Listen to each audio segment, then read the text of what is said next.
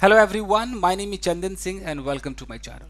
So guys, class 9th English lesson second है। ये लिखा है कि द एडवेंचर्स ऑफ़ टोटो अब इसका मतलब क्या है? देखिए टोटो यहाँ पर एक बंदर का नाम है। और एडवेंचर्स के कई मतलब होते हैं। साहसी काम भी होता है और परेशान करने वाले काम भी होता है। तो बंदर है तो परेशान ही करेगा। तो ये जो टोटो है यानी कि जो बंदर है इसके एडवेंचर्स यानी कि इसके किस तरह के इसने कारनामे दिखाए हैं क्या क्या इसने किया है उसके बारे में है। चलिए यहाँ देखें। Have you ever had a baby monkey as a pet यहाँ पर कह रहे हैं कि have you ever had actually have a pet का मतलब है कि पालतू रखना। तो ये प्रेजेंट परफेक्ट टेंस है कि have you ever had a तो उस हैव का यहाँ पर हैड हो गया। एक हैव जो है वो प्रेजेंट परफेक्ट वाला है। और ये जो हैव है वर्ब के रूप में काम आया है।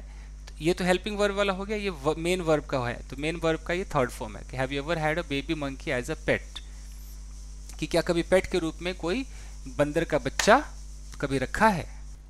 देखिए grandfather bought Toto from a tonga driver for the sum of five rupees past indefinite tense का इस्तेमाल है कि जो दादाजी हैं ग्रैंड फादर ने खरीदा। अब ये कौन कह रहा है? जो राइटर है, जिसने इसको लिखा है, वो कह रहा है कि जो मेरे दादाजी हैं, उन्होंने खरीदा। बाइक का बॉट हो गया। खरीदा, क्या खरीदा जी? तो टोटो खरीदा, यानी कि बंदर का बच्चा खरीदा फ्रॉम अ टोंगा ड्राइवर जो टमटम वाले होते हैं ना तो टमटम वाले ड्राइवर से एक बंदर का बच्चा खरीदा। कितने में खरीदा? तो अमाउंट के लिए फॉर प्रपोजिशन का इस्तेमाल होता है। जैसे मैंने ये टी शर्ट तीन सौ रुपये का अगर खरीदा तो I have purchase this T shirt for three hundred मैं फॉर बोलूँगा ऑफ़ नहीं बोलूँगा। तो for the sum of five rupees तो पाँच रुपए में एक बंदर का बच्चा खरीदा दादाजी ने। The tonga driver use to keep the little red monkey tight देखिए, जो टमटम का जो, तांगे का जो ड्राइवर है use to keep use to का मतलब है कि ऐसा किया करता था। तो रखा करता था लिटिल रेड मंकी को, वो छोटे से, लाल से बंदर को टाइट बाँध कर रखा करता था। किस चीज़ से? टू अ फीडिंग ट्रफ ये ट्रफ बोलेंगे ट्रो नहीं बोलेंगे इसको ट्रफ ये फॉ प्रोनाउंस करेंगे यहाँ पर। फीडिंग ट्रफ हिंदी में क्या बोलते हैं? नाद।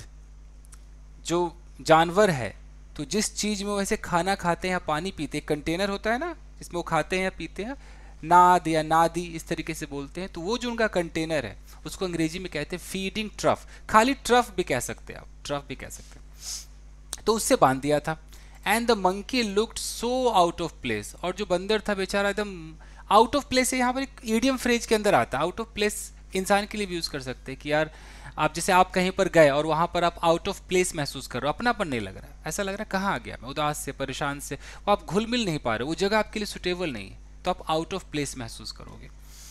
तो उसी तरीके से मंकी लुक्ड मंकी देखने में ऐसा लग रहा था सो आउट ऑफ़ प्लेस कि बहुत ज़्यादा वो अजीब सा महसूस कर रहा था कि पता नहीं क्या है, कहाँ हूँ मैं। देयर अच्छा देयर मतलब वहाँ पर। That grandfather decided he would add the little fellow to his private zoo तो चूँकि वो ऐसा दिख रहा था बंदर तो जो दादाजी है, उन्होंने ये डिसाइड किया, यह निश्चय किया कि ही वुड एड यहाँ वुड क्यों आया? विल का वुड बना है नायरेशन डायरेक्ट इनडायरेक्ट आपने पढ़ा होगा तो अगर इधर पास्ट की बात हो तो इधर वाला जो है वो विल नहीं होगा वुड हो जाएगा। तो दादाजी ने डिसाइड किया पास्ट में डिसाइड किया, क्या डिसाइड किया? फ्यूचर के बारे में तो विल का वुड हो जाएगा। डिसाइड किया कि ही वुड ऐड ऐड का मतलब जोड़ देंगे द लिटिल फेलो यानी कि छोटे बंदर को टू हिज प्राइवेट जू दादाजी ने भैया अपना एक प्राइवेट जू बना रखा था कि हर तरह के वो जानवर अपने जू में रखते थे। अब ये बंदर को भी उसमें ऐड कर देंगे। तो ये सीन समझ में आ गया? आगे देखिए। Toto was a pretty monkey pretty मतलब अच्छा सुंदर अच्छा बंदर था। His bright eyes sparkled with mischief his bright eyes उसकी जो ब्राइट चमकीली आँखें स्पार्कल चमक रही थी स्पार्कल थी। चमकी हुई थी विद मिसचीफ शरारत से वो चमक रही थी। कहने का मतलब है कि एक तो ब्राइट आँखें भी थी अब वो स्पार्कल थी। स्पार्कल का मतलब क्या होता है कि चमचमाहट।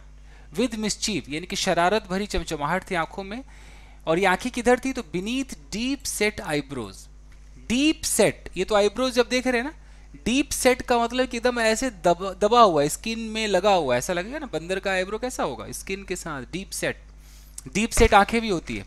डीप सेट आइज़ का मतलब एकदम अंदर धसा हुआ है, हड्डियों के अंदर, ऐसा लगेगा कि आँख यहाँ पर है, और ये भौएँ निकली हुई है, उसको डीप सेट बोलते हैं.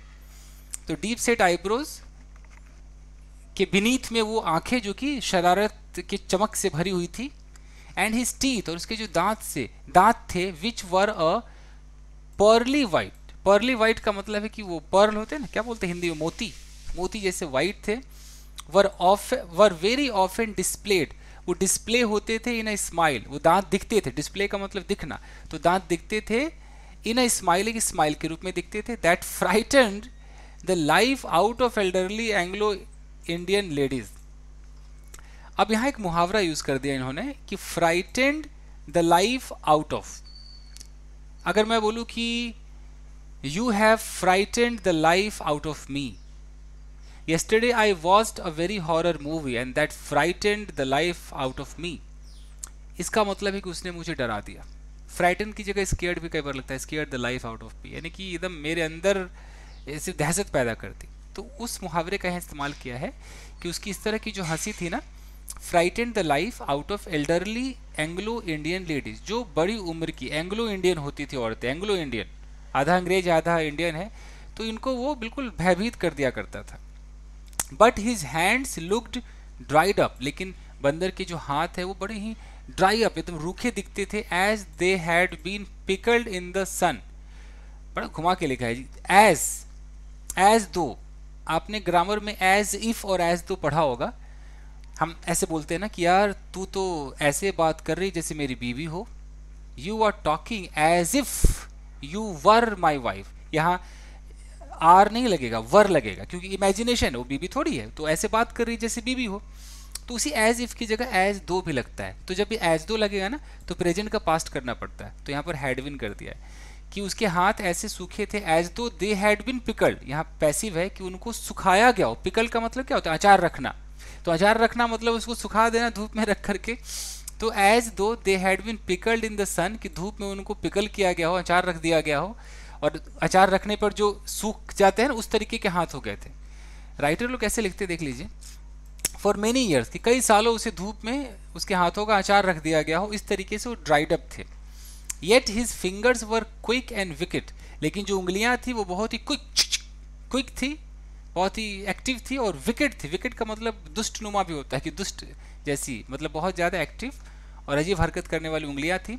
एंड हिज टेल और उसकी जो पूछ थी, फिर यहाँ पर वाइल कर दिया है कि while adding to his good looks while मतलब जबकि अब कुछ चीज़ अगर मैं खराब बताऊँ तो वाइल तुरंत उसके अपोजिट जाता है।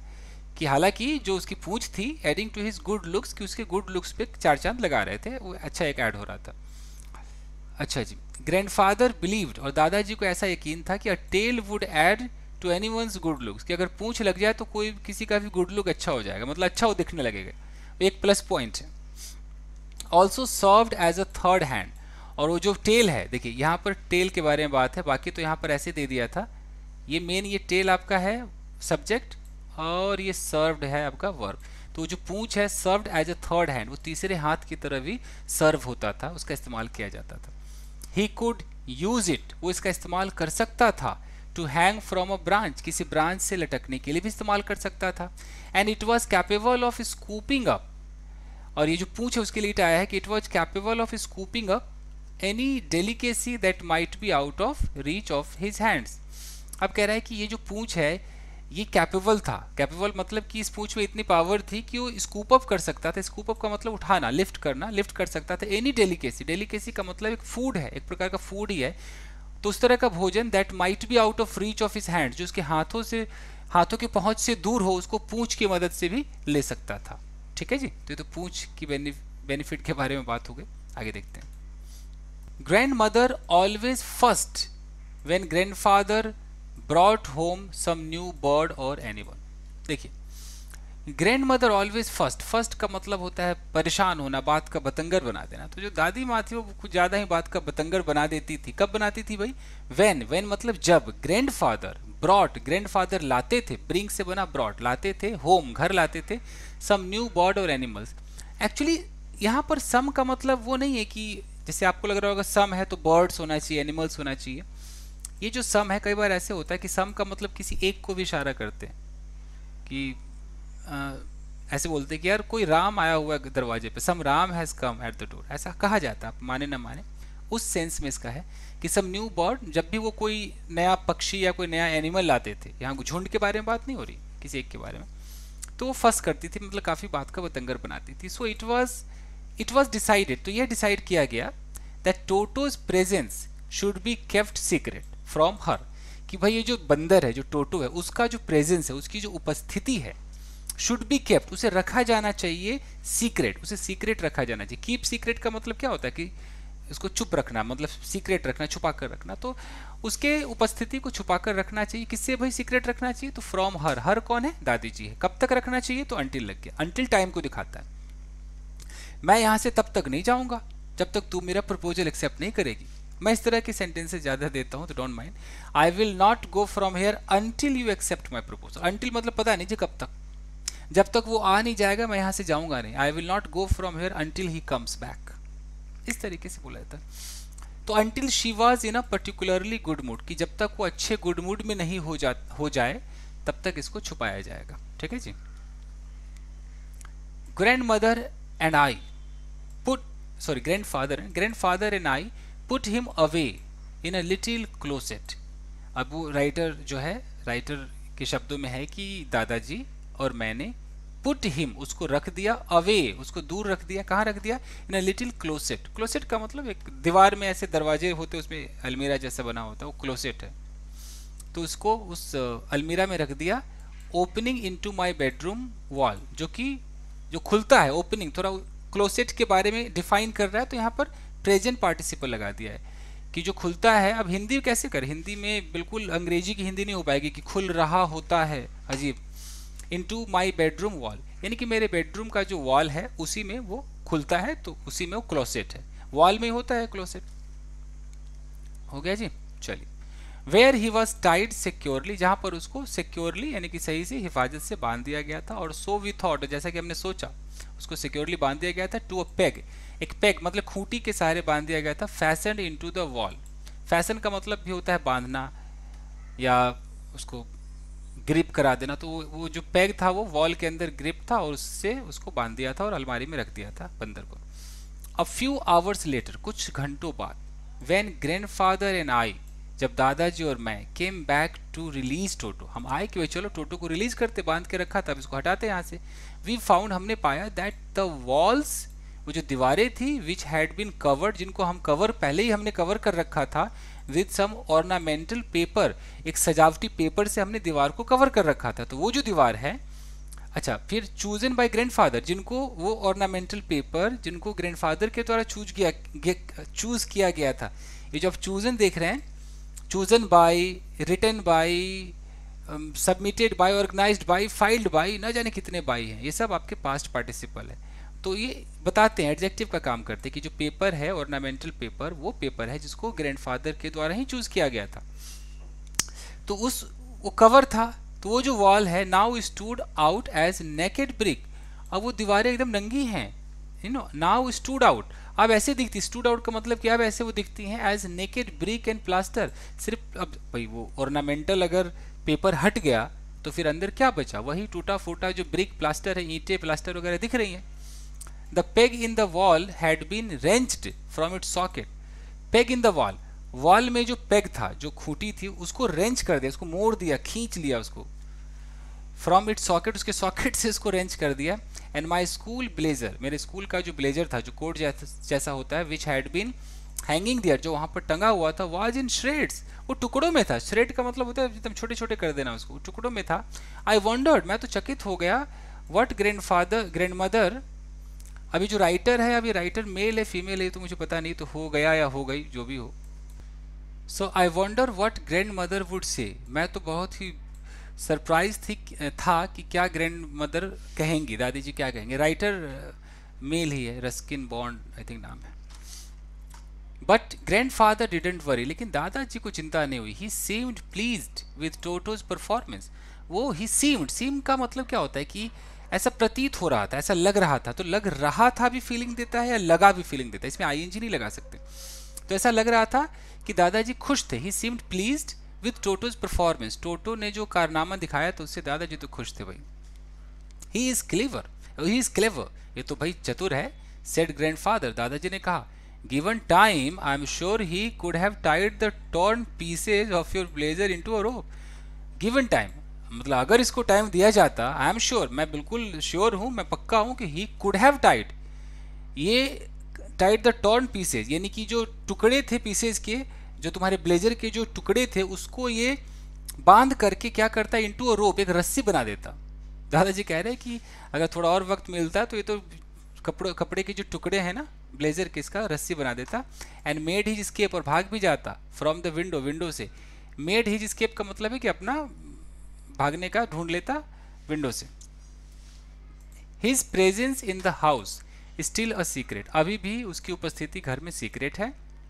Toto was now transfer to a big cage अब टोटो को एक बड़े से पिंजड़े में ट्रांसफ़र कर दिया गया इन द सर्वेंट्स क्वार्टर जो कि सर्वेंट क्वार्टर में था where a number of grandfather's pets lived very sociably together जहाँ पर वेयर का मतलब है जहाँ पर? A number of number of मतलब बहुत सारे जो ग्रैंड पाप जो दादाजी हैं ग्रैंड ग्रैंडफादर उनके जो पेट्स हैं, उनके जो पालतू जानवर हैं लिव्ड रहते थे वेरी सोशियबली आपस में मिल करके एक सामाजिक रूप से रहते थे, सब एक दूसरे से प्यार से रहते थे, एक साथ। जैसे कि टॉट वाइज कछुआ था उसमें अ पेयर ऑफ़ रैबिट्स दो खरगोश थे अ टेम स्क्वायरल टेम का मतलब तो सीधा करना होता मतलब कोई स्क्वायरल मतलब क्या बोलते हैं हिंदी में? स्क्वायरल गिलहरी गिलहरी and for a while my pet goat और for a while for a while मतलब कुछ पल के लिए माई पेट गोट और मेरा जो पेट है अब ये शायद ये राइटर कह रहा है कि मेरा जो पेट है पालतू, बकरी भी कुछ समय के लिए वहीं पर थी। But the monkey wouldn't allow any of his companions to sleep at night देखिए वुडेंट अलाउ यहाँ पर वुडेंट क्यों दे दिया है? यहाँ तो होना चाहिए था कि डिडेंट अलाउ अलाउ नहीं किया। एक्चुअली पास्ट में ना कई बार वुड नॉट का आप इस्तेमाल देखेंगे पुराने इंग्लिश में, जैसे कि गाड़ी स्टार्ट नहीं हुई, कोई चीज़ रिफ्यूज़ कर दे, बिल्कुल मना कर दे, वहाँ पर डायरेक्ट मना कर दे तो वहाँ पर डिडेंट की जगह वुडेंट लगता है। पुराने इंग्लिश आजकल तो लोग बोलते नहीं तो मुझे लगता है वही यूज़ किया है, कि मंकी ने बिल्कुल भी अलाउ नहीं किया एनी ऑफ़ हिज कंपेनियंस कोई भी उनका जो कंपेनियन था, साथी था टू स्लीप एट नाइट की रात को कोई सो पाए, बिल्कुल नहीं। So grandfather who had to leave Dehra Dun next day to collect his pension in Saharanpur अब यहाँ कह रहा है कि ग्रैंड फादर और हु ये हु क्या है? हु मतलब कौन नहीं है। ये हु है आपका रिलेटिव प्रोनाउन और हु से जो वाक्य बनता है, वो क्या बनाता है? एडजेक्टिव क्लॉज और ये क्लॉज क्या करते हैं? ये ये जो है ना ग्रैंडफादर इसके बारे में कुछ बताएँगे। तो बगल में यहाँ जो भी होगा ना, इसके बारे में कुछ इन्फॉर्मेशन देंगे। इसलिए एडजेक्टिव क्लॉज है। तो कह रहा है कि जो दादाजी, कौन से दादाजी भाई? तो who had to had to का मतलब जैसे मुझे खाना पकाना पड़ा I had to cook food वही वाला हैड टू है। हु हैड टू लीव जिनको भाई छोड़ना पड़ा देहरादून नेक्स्ट डे अगले दिन टू कलेक्ट हिज पेंशन क्यों भाई छोड़ना पड़ा? अपना पेंशन लेने के लिए। पेंशन मिलता है ना? जो गवर्नमेंट एम्प्लॉयज़ वगैरह जब रिटायर होते तो पेंशन आता तो पेंशन लेने के लिए कहाँ पे मिलता? तो Saharanpur. Decided to take him along तो दादाजी ने डिसाइड किया। अच्छा यहाँ देखिए तो ग्रैंड फादर सब्जेक्ट है और वो ये वर्ब है डिसाइडेड ये वर्ब है। लेकिन ये हु ये कॉमा देख रहे हैं? इस कॉमा के बाद हु से लेके इस कॉमा तक ये एक क्लॉज है। एक एक्स्ट्रा इन्फॉर्मेशन है। इसलिए सेंटेंसेस बड़े नज़र आते हैं। ठीक है जी? Decided to take him along कि उसको साथ ले जाना। सोचा कि यार मैं जा रहा हूँ तो बंदर को भी साथ ले चलो, नहीं तो यहाँ तो जीना मुश्किल कर देगा और दादी को पता चल जाएगा। अनफॉर्चुनेटली दुर्भाग्यपूर्ण। I could not accompany grandfather on that trip अब राइटर कह रहा है कि भैया, मैं ग्रैंडफादर के साथ उस ट्रिप पर नहीं जा सका। कंपनी का मतलब है किसी के साथ जाना, नहीं जा सका। But he told me about it afterwards लेकिन इसके बाद उन्होंने मुझे इस ट्रिप के बारे में बताया। A big black canvas kit bag was provided for Toto अब वो जो बंदर है, उसको भाई ले जा रहे हैं तो किसी चीज़ में ले जाएँगे तो एक बैग में ले गए। उस बैग को यहाँ पर डिफाइन किया गया। बिग ब्लैक कैनवस किट पूरा कैनवस किट वाला बैग था, बड़ा सा काले रंग का बैग था। उसको प्रोवाइड कराया गया। This with some straw at the bottom bottom में कुछ ऐसे घास फूस जो होते ना स्ट्रॉ भूसा वगैरह भी रख दिया था बिकेम हिज न्यू अडोब ऐसा लग रहा था कि उसका एक नया अडोब हो गया। अडोब का मतलब निवास स्थान। तो ऐसा लग रहा था कि बंदर का एक नया निवास स्थान हो गया। When the bag was close जब उस बैग को क्लोज किया गया देर वॉज़ नो स्केप तो कोई स्केप यानी कि बचने की कोई जगह नहीं थी। Toto could not get his hands through the opening और किसी भी ओपनिंग से, जहाँ भी ओपनिंग होता है चेन लगे होते हैं, चूँकि क्लोज है तो कहीं से भी हाथ बाहर नहीं निकाल सकता था। And the canvas was too strong और जो कैनवस का जो बैग था, वो इतना स्ट्रांग था फॉर हिम उसके लिए to bite his way through क्यों काट के भी अपना रास्ता बाहर नहीं निकाल सकता था, इतना स्ट्रांग था। His efforts to get out उसका जो प्रयास था टू गेट आउट बाहर आने का ओनली हैड द इफ़ेक्ट उसका एक ही प्रभाव रहा of making the bag roll या तो बैग को रोल करता था बंदर वो छटपट ऐसे कर रहा है। अब बैग अगर फ्लोर पे है तो बैग रोल करेगा क्योंकि बंदर उसके अंदर कूद रहा है। रोल अबाउट रोल अबाउट का मतलब इधर उधर रोल करेगा ऑन द फ्लोर फ्लोर पर और occasionally jump in the air या वो ऐसे करके जब कूदता होगा तो हो सकता है बैग भी थोड़ा सा जंप करे। इतना वो शरारती था। सो एन एग्जीबिशन एक तरीके से प्रदर्शनी बन गया था that attracted a curious crowd of of onlookers onlooker होते हैं जो चलते हैं, इधर उधर जाते हैं, तमाशा देखते हैं तो जो क्राउड वहाँ से जा रहा था, जो ऑन लुकर्स थे, उनको बड़ा वो क्यूरियसिटी हुई कि यार ये क्या हो रहा है? तो एक तरीके का एग्जीबिशन हो गया तो इकट्ठे हो गए वहाँ पर on the Dehradun railway platform platform पे इकट्ठे हो गए थे। Toto remained in the bag Toto तो भैया बैग में ही रहा एज फार एज सहारनपुर, जब तक सहारनपुर नहीं आया, वो बैग में ही रहा। But while grandfather was producing his ticket at the railway turnstile अब है कि जब तो आई थिंक ये लोग सहारनपुर चले गए, देख रहे Toto remained in the bag as far as Saharanpur, वहाँ तक ये बैग में रहा। बट लेकिन while grandfather was producing his ticket जब, यहाँ वाइल का मतलब है वो प्रोसेस उस वक्त जब ऐसा हो रहा था तो जब ये अपना टिकट दे रहे थे at the railway turnstile turnstile का मतलब है कि गेट होता है, ऐसे ऐसे घूमता है वो, उस गेट से आप निकलेंगे, उसको टर्न स्टाइल कहते हैं। तो जब उस टर्नस्टाइल के पास थे तो टिकट दे रहे थे Toto suddenly poked his head out poke का मतलब एक तो पोक करना, किसी को ऐसे उंगली दिखाना, इशारा करना, खरोचना, बाहर निकालना, बहुत सारे मतलब है। तो उसने अपने मुंडी को बाहर निकाला पोक किया out of the bag bag से बाहर निकाला and gave the ticket collector a white grin अच्छा ऐसे बाहर निकाला और टिकट कलेक्टर की तरफ़ जैसे बंदर हँसते हैं ही ही, इस तरीके से वो हंसा। एक वाइट ग्रीन दिया। ग्रीन का मतलब होता है दांत दिखाना। वाइट मतलब चौड़ा तो कुछ ज़्यादा ही दांत दिखा दिया बंदर ने।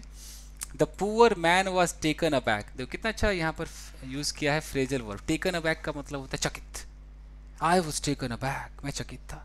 तो जो बेचारा आदमी पुअर मैन वो बिल्कुल सरप्राइज़ हो गया but with great presence of mind लेकिन दिमाग लगाया प्रेजेंस ऑफ़ माइंड था and much to grandfather's and annoyance और ग्रैंड फादर उसके थोड़े एनवायंस मतलब वो जो नाराज़गी थी ना, उसकी तरफ़, वो सब दिमाग में लगा करके उसने कहा ग्रैंडफादर की तरफ़ देखा कि बड़ा एनोयड दिख रहा है, नाराज़गी है और ये सब करके उसने पता लगाया और कहा ही सेट कि sir you have a dog with you आपके साथ तो भाई कुत्ता है। फिर से देख लीजिए। With great presence of mind and much सबसे ज़्यादा to grand fathers annoyance grand father की जो नाराज़गी है, जो वर्जिप से एनवायड थे, वो उस पर उसने कहा sir you have a dog with you आपके साथ तो कुत्ता है, जी। You will have to pay for it accordingly और उस हिसाब से जैसे जानवरों का रूल है, उस हिसाब से आपको पे करना पड़ेगा, जैसे कुत्तों के लिए रूल बने हुए हैं। देखिए विल हैव टू यहाँ ये यूल का मतलब यू विल है, और विल हैव टू का मतलब करना पड़ेगा, आपको यहाँ पर रुकना पड़ेगा, जी। You will have to stay here in vain व्यर्थ में did grandfather take Toto out of the bag फालतू में उन्होंने बैग से उसको बाहर निकाला। In vain did he try to prove फालतू में ही उन्होंने ये प्रूव करने की कोशिश की that a monkey did not qualify as a dog कि भैया ये डॉग नहीं है, ये कुत्ता नहीं, ये मंकी है। और इवन एज क्वाड्रुपेड और ऐसा भी नहीं कि कोई और चौपाया जानवर हो, भैया ये तो मंकी है। लेकिन सब व्यर्थ था। Toto was classified a dog by the ticket collector भाई टिकट कलेक्टर के द्वारा टोटो को तो एक डॉग के ही वर मतलब क्लासिफाइड किया गया, उस क्लास में रखा गया, उस क्या बोलते हैं क्लास को? वर्गीकृत कर दिया गया कि जा, तू तो भाई कुत्ते श्रेणी में आता है। And three rupees was the sum handed over as his fare और तीन रुपए, वो टोटल जो अमाउंट है, तीन रुपए का हैंडेड ओवर उसको दिया गया एज इज़ फेयर तो चूँकि मंकी को कुत्ता समझ बैठा तो कुत्ते के लिए तीन रुपए का फाइन था फेयर था, किराया था जो दिया गया। Then grandfather just to get his own back अच्छा दादाजी अब ये सब्जेक्ट है और यहाँ पर लगा दिया है just to get his own back ये जो देख रहे हैं to get his own back ये एक मुहावरा है। इसका मतलब होता है बदला लेना। जैसे to get my own back अपना बदला लेने के लिए तो जो दादाजी हैं टुक अब ये सब्जेक्ट हो गया है ग्रैंड फादर और ये जो टुक है, ये इसका वर्ब हो गया। Took from his pocket our pet tortoise अब ये आवर इसलिए लगा है क्योंकि वो राइटर कह रहा है ना कि दादाजी ने राइटर कहानी सुना रहा है। तो कह रहा है कि दादाजी ने क्या किया? वो अपना गुस्सा निकालने के लिए, बदला लेने के लिए अपने उस पॉकेट से, एक टॉर्टवाइज हमारा जो टॉर्टवाइज है, यानी कि जो क्या बोलते कछुआ है, उसको बाहर निकाला एंड सेड और कहा वट मस्ट आई पे फॉर दिस तो मुझे इसके लिए क्या पे करना चाहिए? एक्चुअली आपने सुना होगा व्हाट शुड आई पे तो शुड की जगह मस्ट है। कुछ ज़्यादा ही ज़ोर दे दे कि अच्छा बताएँ कि मुझे क्या, मैं कितना बाउंड हूँ, क्या मुझे पे करना चाहिए? मस्ट है ना कि मतलब करना ही करना है। जी, क्या मुझे पे करना चाहिए फॉर दिस इसके लिए since you charge for all animals since का मतलब है चूँकि हालाँकि आप तो सारे एनिमल के लिए चार्ज करते हो तो बताओ जी कछुआ है मेरे पास क्या दे दूँ मैं इसके लिए? The ticket collector looked closely at the tortoise उस टिकट कलेक्टर ने उस कछुए को बड़े बड़े ही गौर से देखा क्लोजली देखा।